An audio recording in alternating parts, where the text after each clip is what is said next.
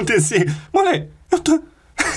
Senhoras e senhores, o Vasco acabou de golear por 5 a 1 Assim, eu, eu não queria falar nada não, mas vai se criando um clima incrível. Vamos lá, goleada do... Meu Deus do céu, vem comigo. É o seguinte, rapaziada, hoje dentro de São Januário, finalmente com torcida presente no estádio, o Ramon Dias veio com o time dele com esse elenco aqui. Assim, quase que tudo normal, tirando uma grande novidade, a estreia como titular do Dimitri Payet. O francês finalmente estreou jogando, já começando jogando, até que nem chamou tanta atenção assim não, teve outras coisas mais importantes rolando. Uma delas, o show da torcida. Impressionante. O Vasco ficou aí, tipo, papo de 90 dias com o estádio vazio, às vezes nem podendo usar nem o estádio, tá ligado? Hoje voltou, mosaico da torcida, bagulho absurdo, não é porque eu torço pro time não, mas isso aqui foi embaçado demais, tá ligado? Presença da torcida em peso esgotando ingresso, mas isso aí não é nada demais. Agora o show em si foi absurdo, absurdo. Enfim, rapaziada, falando de bola, o que a gente tem é o seguinte, o jogo já começa com isso aqui, ó. Dentro da área, o Rossi cruza, o Pumita vem, defende goleiro, o Pumita vai, defende goleiro, de novo defende goleiro. Meu Deus do céu, tá aqui o Pumita Rodrigues que cada vez mais vem se firmando no lugar que estava sendo titular o horrível Robson Bambu. O Pumita que não é craque nem nada, mas hoje faz mais uma partida muito boa. Aqui, nesse lance que ele errou três vezes, na hora eu fiquei puto e xinguei internamente aquele, mas assim, para ser bem justo, eu quero saber a sua opinião aí.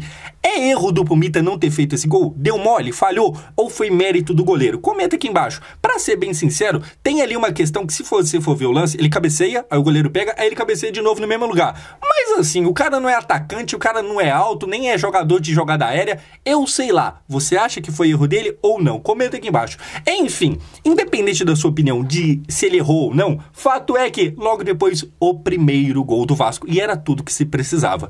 O estádio lotado, a torcida, sabe, aflita querendo resultado, todo mundo empolgado e aí Joseph Gabriel aparece porque vem no cruzamento do Rossi, olha só, dentro da área, de cabeça, tá lá, balança as redes já aos 7 minutos do primeiro tempo. Aqui a gente tem algumas coisinhas para comentar. Primeiro, o Vasco não deixa a peteca cair. Pressionou com o Pumita e continua pressionando. Poderia ter se abalado, que às vezes um time deixa de fazer um gol muito feito e o time perde ali e tal. Não, não aconteceu cruza um escanteio, Rossi mais uma vez sendo importante, dando um cruzamento perfeito, e esse cara aqui tá se redimindo a cada dia mais. Eu cheguei a criticar muito ele nas primeiras partidas de Brasileirão que ele fez, porque realmente ele merecia crítica, só que assim, depois que chegou o Ramon Dias, o cara mudou da água pro vinho. Assim, né, né, não queria falar nada não, mas aconteceu algo mais ou menos parecido com isso aqui. As atuações recentes do Joseph Gabriel são impressionantes. Quando ele ficou fora contra o Bahia, se eu não me engano, eu cheguei a me pegar ficando com medo porque o Vasco não tinha o Zé Gabriel para jogar. Hoje ele volta, na verdade já tinha voltado no último jogo, mas enfim, hoje com ele em campo, ele é coroado com um gol e aí a torcida grita nome e tal. Enfim, mesmo que não tivesse feito, mais uma boa partida, mas fez. O, Vasco tem peças funcionando que você não esperava. O Zé Gabriel é uma delas. É um cara que eu critiquei e que hoje eu elogio e que quando tá suspenso ou machucado eu chego a sentir falta. Que reviravolta! Zé Gabriel elogiado. Enfim, rapaziada, na sequência, o jogo fica ali um pouquinho mais morno, alguns poucos minutos. A gente tem essa imagem aqui meramente ilustrativa de Verrete, ídolo, conversando com o pai. E eu tô na felicidade desse cara aqui, ó. Enfim, o Vasco toca ali a bola nesse minuto aqui, 22 minutos de, de jogo. O Vasco tenta alguma coisa, não permite que o Curitiba faça nada. E isso é importante porque muitas vezes o Vasco até conseguiu abrir um placar, assim foi contra o, sei lá, contra o Fluminense, foi contra o Palmeiras na primeira no primeiro jogo do primeiro turno e tal. Às vezes o Vasco abria, só que aí, tipo assim, faz gol e começa a jogar como time pequeno. O Vasco faz gol e presta atenção, para de jogar. Entende? Dessa vez não foi isso. Claro que o Curitiba é o último colocado do campeonato, blá blá blá blá blá. Enfim, é, tem isso. Mas se fosse o time do Barbieri, alguém duvida que o Vasco faria um gol e recuaria? E que pararia de jogar? E que não conseguiria manter? Alguém duvida? Eu não.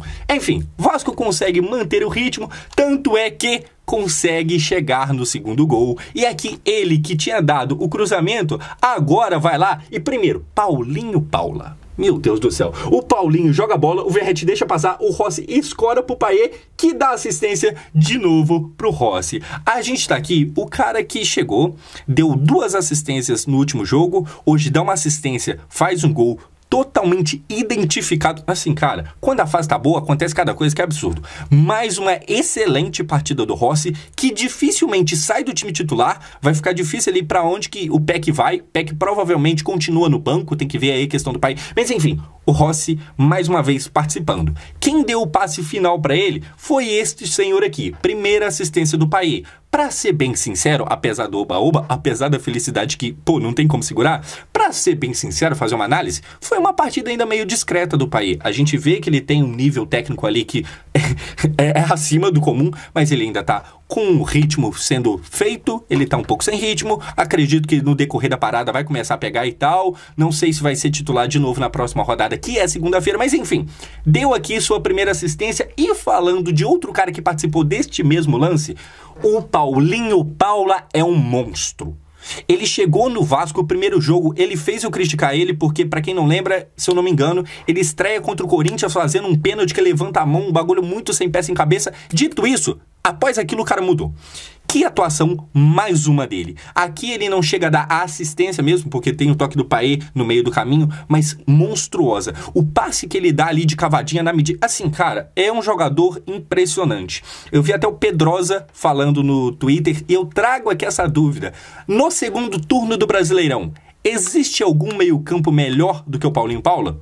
Aí vocês comentam aí, os mano que torcem pro outro time, comenta aí numa boa. Eu vou dar uma olhada depois nos comentários. Enfim, pessoal, a gente tem ele também, de novo, Paulinho Paula, participando na defesa, porque o bicho dá uns passes absurdos, mas ele também é muito raçudo. E falando em raça, a gente tem o Medel, que volta hoje, porque estava suspenso no último jogo, e é muito importante. O Vasco chega a tomar um gol, mas assim, o Medel me passa uma segurança absurda. Léo Pelé hoje não me fez raiva, é, acho que, né, passa batida, tá de boa, fez até uma boa partida. O Léo Pelé com a bola no pé, ele não é ruim. Ele só marca com muita distância quando é preciso. Mas hoje foi da hora, foi legal e tal. E a volta do Medel me passa ainda mais segurança também no Léo Pelé. Enfim, pessoal, o que, que a gente tem depois disso é um intervalo de Vasco ganhando 2 a 0 O Vasco, mais uma vez, não toma gol no final do primeiro tempo, mas dessa vez também não volta pro segundo e toma logo no começo. Dessa vez não. Muito boa partida. Novamente, é contra o Lanterna do campeonato. Mas em outros tempos isso aqui teria dado ruim, você não tenha dúvida. Continuando, a gente começa o segundo tempo e diferente do jogo contra o Fluminense, que o Vasco não tomou gol no final, mas tomou no começo do segundo tempo, aqui o Vasco faz gol no segundo tempo. E quem é que faz? É esse senhor aqui, ó. De novo, o monstro, o meio-campo brilhante, Paulinho Paula, corre sozinho, cruza dentro da área, o Verrete mata no peito, e chutaço, golaço impressionante. Assim, por outro ângulo, olha a matada no peito, olha na onde que vai a bola na trave e ele sai para comemorar. O Verrete é muito bom. Para você que me segue aqui e não é vascaíno, não é exagero quando você vê um vascaíno falando o quão bom esse cara é. Ele chega logo de cara e já tem uma atuação que faz eu querer que o Pedro Raul vai pra enfim, daqui a pouco a gente fala de Pedro Raul, porque vai ter mais gol do Verret. Falando primeiro desse lance aqui, o Paulinho rouba a bola, carrega ela sozinho, cruza na área so certinho, o Verret mata no peito e chuta perfeitamente. Ele é excelente de cabeça, mas nesse lance mostra que não é só de cabeça. Cara. Ai, meu Deus do céu, a fase, a fase é boa. A fase é boa. Enfim, pessoal, mais um gol do Vasco. Já é o quarto gol. Meu Deus, quando você pensou que você ia ver um vídeo meu aqui que eu falo que o Vasco fez 4 ou 5 gols? Enfim, mais um gol do Vasco, cruzamento do Lucas Piton, de novo, Verrete, de cabeça, balança as redes, tá ele aqui comemorando com o Rossi nas costas dele. E aqui eu vou falar de Pedro Raul. Quando foi anunciado a venda do Pedro Raul lá pro México, eu cheguei a comemorar. E teve gente falando que, pô, Josão, você não acha que isso pode ser uma merda, o Pedro Raul ser vendido, porque eles vão acabar não comprando ninguém e vai ser pior? Eu até falei, sim, eu tenho esse medo. Mas o Pedro Raul deu errado, gente. Sabe? Tipo assim, já não tinha mais o que esperar. O cara, cada jogo, mostrava que não ia dar certo. E aí você vê que quando é pra dar certo, o cara chega, vem o Verrete e não tem nem período de adaptação. O maluco chega e ele tá com o quê? Acho que seis gols agora já em sete jogos. Acho que os números são esses. Mano, é impressionante. É impressionante. O atacante que faz o arroz com feijão bem feito. O Verrete, ele tipo não é o craque que vai dominar e sair driblando. Ele não é o Neymar, tá ligado? Só que assim, jogou na área, caixa. E é isso. E é importante. E muda o jeito. E outro cara, tá? Porque a gente tá falando de gol de cabeça e para ter um gol de cabeça precisa ter um cruzamento. Lucas Piton, o Vasco tem que fazer o esforço para manter ele Pra você que é vascaíno e não tá sabendo, já tem gente de sobra de olho nele. Os malucos na Europa tá salivando em cima do cara. Eu acho que assim, se tiver como, faz o esforço financeiro, isso quer dizer, gasta dinheiro, mantenham o Lucas Piton. A posição que ele joga, essa lateral ali, esse lado dele, é difícil.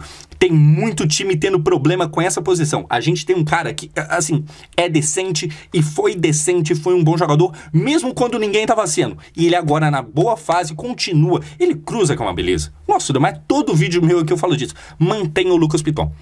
Os caras vão tentar comprar ele. A não ser que faça uma oferta muito boa, eu gostaria muito que o Vasco, principalmente por causa da SAF, fosse capaz de não perder esse bom jogador, porque assim, vai ser difícil, mesmo que tenha ali uma graninha, vai ser difícil achar outro cara que entregue o que ele tá entregando. Obrigado, Corinthians, por ter cedido Mano. Tamo junto, é nóis. Pessoal, depois disso aqui, tem o gol do Curitiba. O Vasco dá ali um mole, já tava ganhando de 4 a 0 Acontece o gol do Curitiba. Porém, eu posso estar enganado, mas me parece muito o tipo de gol que acontece porque o pessoal tava desatento de tanta felicidade. O pessoal tava, sabe, empolgado, achando que tá tudo fácil demais.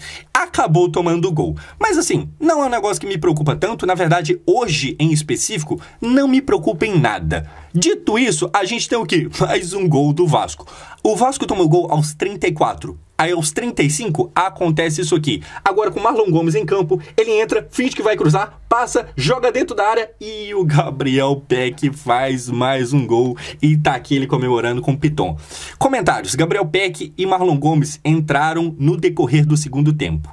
Dois bons jogadores. Principalmente o Marlon, eu acho que tem um futuro muito pica e eu quero que ele possa passar um tempo sendo aproveitado pelo Vasco. O Peck, é, é o cara que eu já falei, cara, para ser o, o, que não pode é a gente depender única exclusivamente do PEC. Sabe, a gente não pode ter o PEC como nosso principal jogador. Isso é absurdo. Agora, ter ele como esse cara a mais, mano, é maravilhoso. E assim, o Marlon muito inteligente na Hoje tá. Cara, o Ramon Dias, se ele passa aqui na minha frente, agora eu dou um beijo na boca. Enfim, pessoal. Enfim, 5 a 1 Vasco. Deixa eu até ver o que eu separei aqui. Ah, é. Notícia ruinzinha. Pra fechar, o Paulinho Paulo, que eu tanto elogiei, saiu ali de maca. Eu espero do fundo do meu coração que não seja nada. Mas aqui tá o placar. A gente tem um 5x1 Vasco. Segunda-feira joga contra o América Mineiro fora de casa. Assim, é um jogo um pouco mais difícil, mas eu espero outra vitória. Claro que não desse jeito aqui. E se você chegou até aqui no vídeo e quiser falar mais comigo diretamente sobre esse jogo, eu tô ao vivo agora na Twitch trocando ideia com vocês e falando desse jogo. Agora, se você tá vendo esse vídeo logo de noite que eu postei, tá ligado? O link tá aqui na descrição. Vem comigo na live, eu espero você lá. Já chega lá mandando no chat, vim pelo YouTube. Tô esperando você lá. Vitória do Vasco 5 a 1 Meu Deus do céu. Não vai abarrar. É nóis, pessoal.